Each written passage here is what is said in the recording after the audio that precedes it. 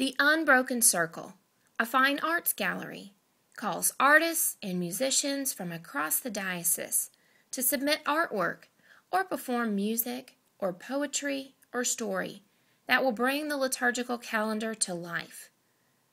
Participants may choose a season of the church year and interpret the feeling of the season and what about it speaks to them.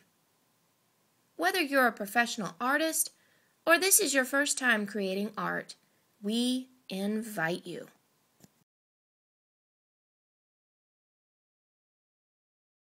The purpose of the Fine Art Project is to really start a conversation about faith.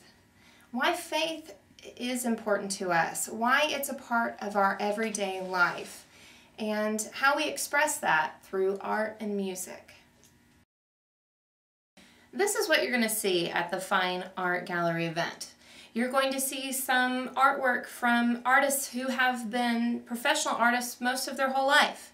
You're also going to see artwork from, from people that are just picking up a medium, trying something for the first time, working together as a group possibly for the first time. You're also going to see some exciting artwork from some teenagers who have no problem taking risks with art and talking about faith and doing it their way.